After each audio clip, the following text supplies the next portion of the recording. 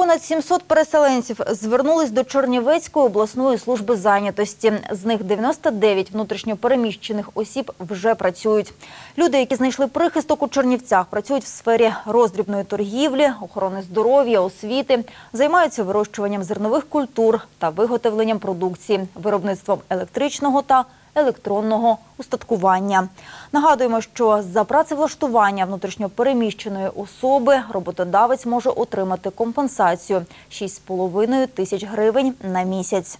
За місяць 17 тисяч роботодавець отримує за працевлаштованого внутрішньопереміщену особу. На сьогодні близько 500 актуальних вакансій е, переважають робітничі професії, швай, водії автотранспортних автотранспортних засобів, слюсарі, електрики. Е, Ну крім того, у нас є вакансії 8 для бухгалтерів, економістів.